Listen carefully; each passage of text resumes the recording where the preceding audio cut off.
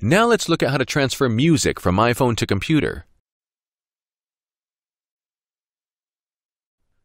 Part 1. Connect the iPhone to the PC. Click the desktop icon to run Coolmuster iOS Assistant. Connect your device to the computer using the USB cable. Touch Trust on the iPhone and click Continue. In a few moments, your device will be connected.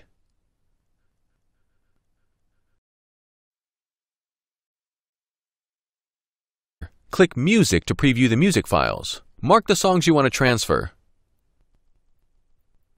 Choose Export and then select the location for your files. And in a short time, you will find the songs files on your computer. To transfer voice memos to your computer, select Voice Memos and then select the memos.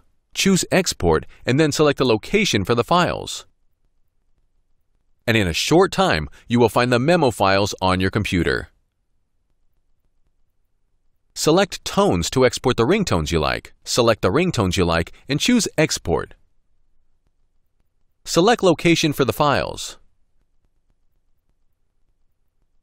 And in a short time, you will find the ringtone files on your computer.